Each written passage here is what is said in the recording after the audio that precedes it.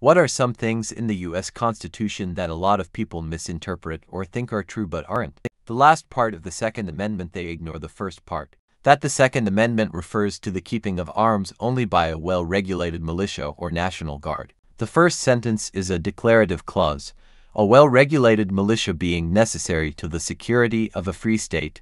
The last part of the sentence is the protected right and it applies directly to the whole people.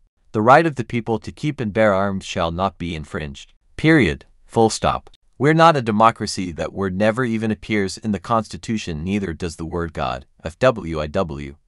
We're a constitutional federal republic, or more accurately, a Madisonian constitutional representative federal republic. What's the difference?